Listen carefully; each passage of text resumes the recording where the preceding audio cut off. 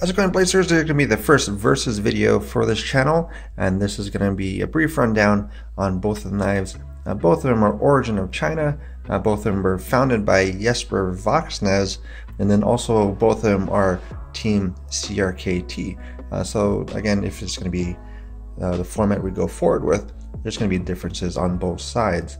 Uh, so that's going to be that information there. We're going to be going old school video game here. Uh, so you start off with five life points on each side. As we go through each of the steps, uh, then you would actually uh, have one taken away. So if this one uh, wins on a topic, uh, one point will be taken off of here. If this one wins on a topic, one is taken out from here. so that's going to be how that game's going to go. And then you could be knocked out uh, from the competition before you even get to the end if you lose all your life points. Uh, so that's going to be how this is going to function and uh, how we're going to see how that works. So let me know in the comments down below as far as what you think about that as well. And we're going to start off uh, the competition here. Uh, so we're going to start off with some of the information. we're going to start off with weight. weight is the same on both sides. So three ounces, three ounces.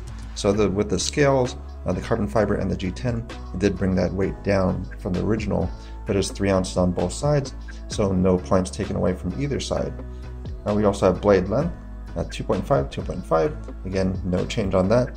So if we use this format in the future, uh, then there is going to be some difference and there'll be some points taken away on that one. So materials is going to go towards uh, the uh, carbon fiber uh, because of the uh, the higher steel, I mean the higher uh, handle material, uh, so we're going to be losing one point uh, from this side here.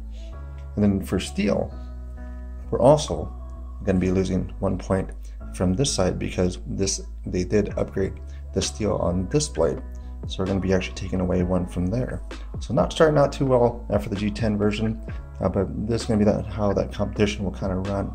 So the grip side, uh, so the G10 versus the carbon fiber, uh, the G10 is actually a bit more grippy, so I do, I'm going to give that to this knife here.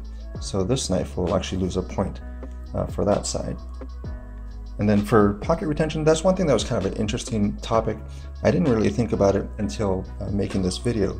So we're going to actually uh, toy around with that, see which one has a better pocket retention, and kind of show you that. So one moment here.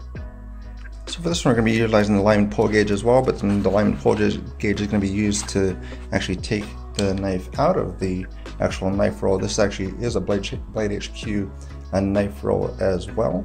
So we're going to go and check on that as far as how this goes.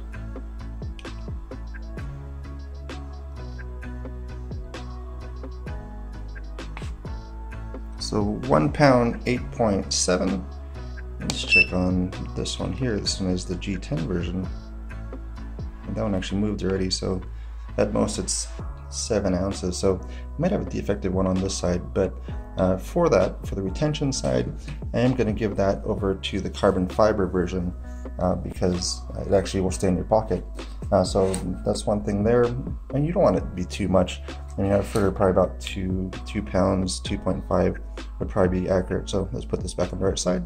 So we have this one for the carbon fiber and the G10. So for that one, for pocket uh, retention, we also lose a point there uh, for this category.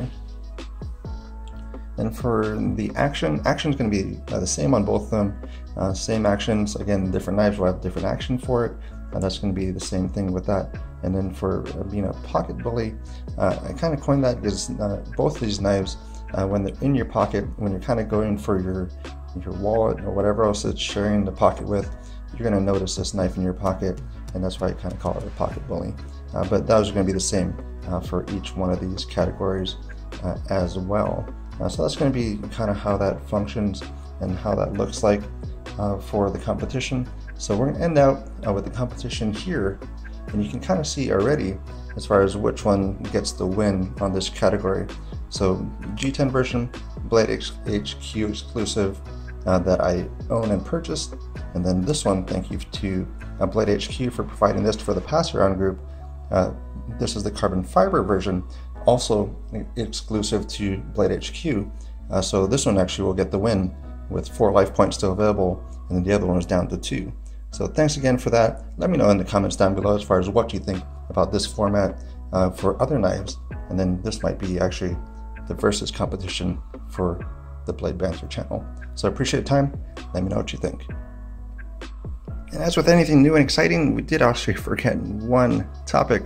So yeah, my fault. But uh, one also category, uh, so the sharpness uh, for the knife did do uh, the test on both blades. Uh, so for that one, it still also went to the carbon fiber version. they both were kind of at the high, um, the higher end of new high-end cutlery, almost to the level of needing maintenance. Uh, so the uh, G10 version, uh, that one came in at a, a, 371, and this one came in at an average of two pulls of 344. so that's one thing that's there. so I'm looking at this one, that's going to be about this grade right before needing maintenance. Uh, but that's going to be where that is. But still gave the win uh, to the carbon fiber version, so another point there. Uh, so the other blade nearly got knocked out uh, entirely uh, by this competition. Uh, but let me know what you think, and sorry about the mishap.